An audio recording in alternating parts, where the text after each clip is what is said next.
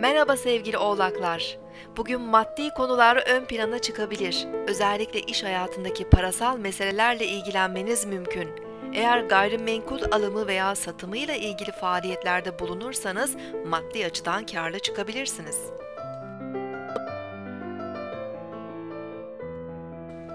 Bugün 13 Mart 2014 Perşembe. Jüpiter günündeyiz. Ay gün boyu Aslan burcunda ilerleyecek. Canlı, iyimser, yaratıcı enerjiler keyifli ve verimli bir gün geçirmemizi sağlayabilir. Eğlenceli sosyal faaliyetler, organizasyonlar, sanatsal çalışmalar ve hobilerimizle meşgul olabiliriz. Çocuklar ve gençlerle zaman geçirmek de bugün oldukça keyifli olabilir. Ay Aslan burcundayken saç bakımı, güzellik ve makyajla ilgili konularda da daha başarılı olabiliriz. Gece saatlerinde etkinleşecek Güneş-Satürn üçgen açısı güven duygumuzu arttırırken otorite sahibi kişiler ve aile büyüklerinden destek almamızı da kolaylaştırabilir.